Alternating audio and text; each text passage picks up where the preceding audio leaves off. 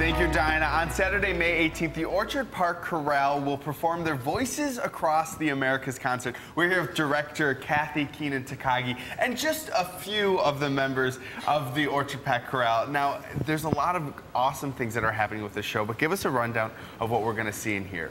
We're going to see music from across the Americas, from French Canada to Toronto to America, West Side Story, and also to Latin America. So we're bringing music together and we're bringing people together.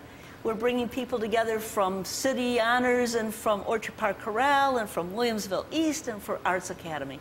So we're bringing young people and old people together to make music, to make community. Now, one of the things that I love about your group is that it's not just one specific, you know, age or type of people. Tell us a little bit about the diversity in this group. We have diversity of generations, and we have diversity of uh, communities. We have people from four different counties.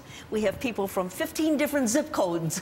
And uh, so we, we all come together on Monday nights and we sing, we perform. This is a special thing. We've been coming together for five Monday nights in Orchard Park to rehearse, and we're performing at Bethel AME on Saturday, and we're performing in Orchard Park at the Presbyterian Church on Sunday. All right, excellent. And we'll put up all the information on the events, of Thank course. You. We have about a minute left till break, so why don't we step out? I'll step out of the way, and I'll let you guys uh, show us what you got. Okay, thanks so much. Mm-hmm. One, two.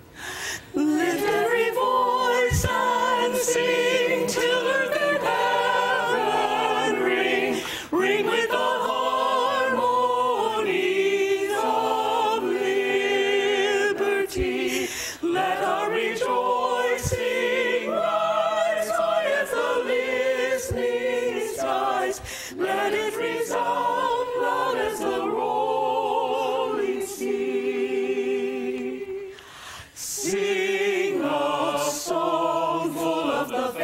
the dark past has taught us. Sing a song full of the hope that the present has brought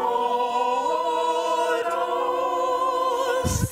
Facing the rising sun of a new day begun, let us march on till victory.